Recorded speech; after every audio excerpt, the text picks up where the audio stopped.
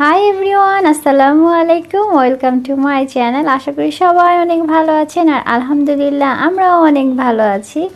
তো আজকের ব্লগের প্রথমেই আফিফ বাবাইকে দেখতে পারছেন। বাবাই যে আমার সানগ্লাস পরেছে, তার বাবা সানগ্লাসটা কিনে দিয়েছে তাকে। যেহেতু সে কক্সবাজার বেড়াতে এসেছে, সানগ্লাস পরবে না তা কি হয়? আসলে আমাদের সকালের নাস্তা শেষে আমরা বের হব এখন, তো রেডি হয়ে নিয়েছি। তো আমরা যাব আজকে ইনানি বিচ আর ইনানি বিচ যাওয়ার পথে আমরা ভীষণ একটা সমস্যায় পড়েছিলাম। সেই জিনিসটা আজকের ব্লগে আপনাদের সাথে শেয়ার করব। তো আমরা মোটামুটি রেডি হয়ে গেছি। রেডি হতে হতে আফিফ বাবাই ঘুমিয়ে গিয়েছে।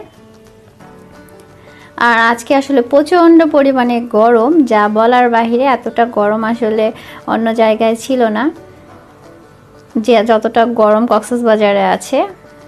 তা আমিও রেডি হয়ে গিয়েছি। সারা রাত জার্নির পরে খুব বেশি ক্লান্ত লাগছে বাট হাতে যেহেতু সময় নেই সো ঘুরতে তো বের হতে হবে।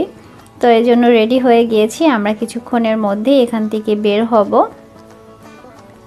তো গাড়ি নিয়ে নিয়েছি, আমরা এখন বের হয়ে যাব এখান থেকে। হোটেল থেকে আসলে টমটমটা বুকড করে দিয়েছে তারা, তো সেটাই নিয়ে নিয়েছি। আর এখানে ওঠার পরে আসলে আমার আগের বারের কথা মনে পড়ে যাচ্ছে। গতবার আসলে মাকে নিয়ে এসেছিলাম, আমার শাশুড়ি মাকে। ঠিক এভাবে মায়ের সাথে আমি বসা ছিলাম আর আফিফের আব্বু এই পাশে ছিল। বাট এইবারে মানুষগুলো অনেকগুলো মানুষই পরিবর্তন হয়ে গেছে, সাথে আমাদের আফিফও আছে। তো মাকে মিস করতেছি বাট কি করার? মা যেহেতু গতবার জানুয়ারিতে বেরিয়ে গিয়েছে, তাই সে আর এবার আসবে না। সে বলে, ঘোরার জায়গায় একবার দেখলেই হয়, বারবার যাওয়ার দরকার নেই। আসলে সে জার্নিও করতে চায় না। তো আমাদের ইনানি বিচ যাওয়ার পথে রাস্তা তো সবসময় আসলে ভালোই থাকে, বাট হঠাৎ করে দেখলাম ওখানে কিছু অংশ রাস্তায় কাজ করছে, যার কারণে গাড়িটা ঠিক সমুদ্রের পার ঘেসে যাচ্ছে, দেখতেই পারছেন। তো বালুর যেহেতু এখানে সমুদ্রের পাড়ে, বালির কারণে কিন্তু গাড়িটা চলতেই পারছে না। এমন একটা অবস্থা। মানে সিনটা দেখতে কিন্তু ভালোই লাগছে। সমুদ্রের ঢেউগুলো একেবারে কি বলে, গাড়ির কাছে চলে আসতেছে। বাট মানে খুব বেশি ভোগান্তির শিকার হতে হয়েছে। আগে জানতাম না আসলে যে জায়গার রাস্তার অবস্থা এরকম। তো, খুবই একটা হজবরল অবস্থা বলা যায়।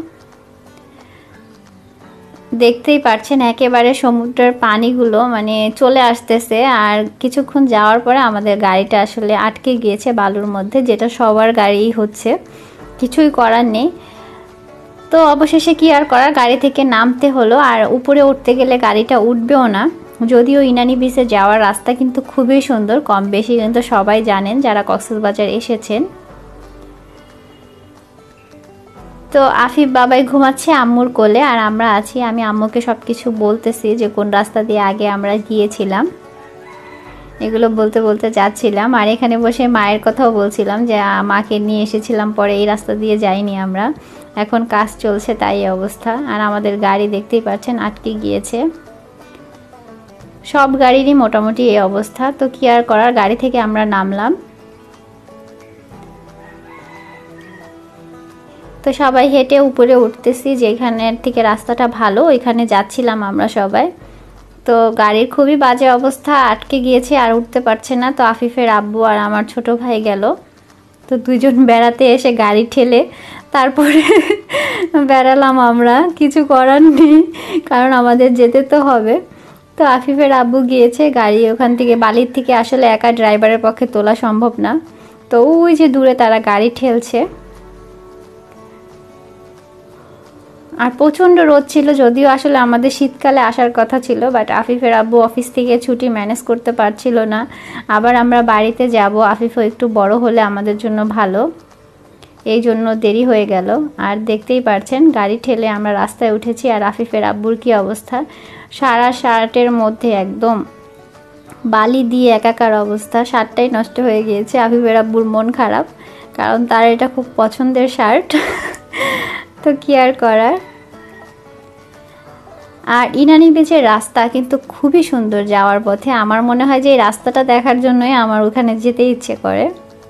যারা কম বেশি কক্সবাজার এসেছেন তারা তো জানেনি আর যারা যাননি তাদের আমি বলব যে একবার হলেও জীবনে কক্সবাজার ঘুরে আসবেন। সত্যি অনেক ভালো লাগবে সত্যি অনেক সুন্দর জায়গা।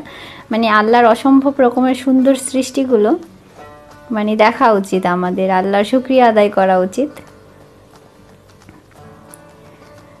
যদিও আসলে ভিডিওগুলো খুবই মানে কেঁপে কেঁপে উঠেছে, এই জন্য সরি গাড়িতে বসে আসলে ভালোভাবে ভিডিও করা যাচ্ছিল না।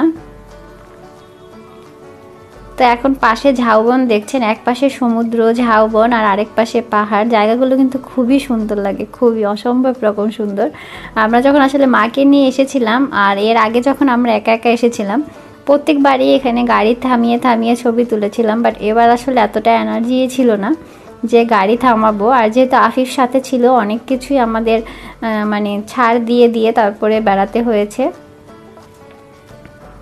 আসলে ভিডিওগুলো আমি ছোট আকারে আর পার্ট বাই পার্ট দিচ্ছি যাতে সবার দেখতে সুবিধা হয়। একসাথে দিলে হয়তো আমার জন্য একটু কষ্ট ভিডিওটা এডিট করে ভয়েস ওভার দেওয়া আফিফকে নিয়ে। তো এই জন্য আমি একটু ছোট ছোট অংশে ভাগ করে দিচ্ছি। আশা করি যারা আমার ভিউয়ার্সরা আছেন তাদের ভালো লাগবে আর তারা আমার সব ভিডিওগুলো দেখবেন। আর যারা কক্সবাজার এখনও আসেননি, তারা হয়তো আমার ভিডিওর মাধ্যমে কক্সবাজারটা হালকা পাতলা দেখে নেবেন। আর সবাইকে বলব একবার করে হলেও এখানে ঘুরতে আসবেন, সত্যি অনেক ভালো লাগবে। তা ওই সাইডে এখন কিন্তু নারকেল গাছ আর সুপারি গাছ দেখতে পাচ্ছেন আর এই জায়গার এই ব্রিজটা কিন্তু খুবই সুন্দর। মানে যখন ইনারনি ব্রিজ যেতে হয় ব্রিজটার নাম আমার ঠিক মনে নেই। তো এই জায়গার আমার কিছু ছবি আছে মানে মায়ের সাথে গতবারে। এবার তো বললামই, তেমন ছবি তুলতে পারিনি, ভিডিও করতে পারিনি, আসলে এনার্জি পাচ্ছিলাম না। আফিফকে নিয়ে সব কিছু মানে দেখে শুনে পারছিলাম না করতে। তো যতটুকু পেরেছি ততটুকুই শেয়ার করছি আপনাদের সাথে। আর সরাসরি দেখার মধ্যে যে আনন্দ, সেটা আসলে ভিডিওতে কখনোই সে আনন্দটা অনুভব করা যায় না। আর শীতের দিনে আসলেই কিন্তু কক্সবাজার বেশি ভালো লাগে। তো আমাদের ফেব্রুয়ারি থেকে আসার কথা মানে জানুয়ারি থেকে আসার কথা ছিল, সেটা আস্তে আস্তে আমাদের মার্চ মাস হয়ে গেল। তো যাই হোক, আমরা ইনানি বিচ চলে এসেছি। গাড়ি থেকে নামছে সবাই। আফিফেরও ঘুম ভেঙেছে, প্রচণ্ড পরিমাণে রৌদ্র।